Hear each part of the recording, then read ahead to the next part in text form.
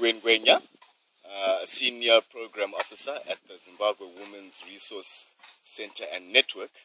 Um, so we're just going to ask Lindiwe, um, just give, to ask her to give us her thoughts on the course so far. Uh, Lindiwe, tell us, what have you learned on the course so far?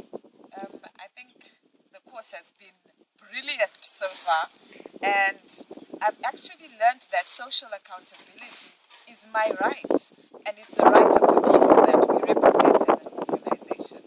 Uh, our organization looks particularly at women and women's rights, and we've taken a focus uh, towards looking at where the money is. We're following the money because we understand that without money, you cannot have a realization of your basic rights. So, social accountability, it's pretty much asking the government to put their money where their mouth is. I mean, if you promise us something, show us the commitment, the allocations, give us explanations, give for why you do certain things. And hopefully, if we work together, we can actually make a difference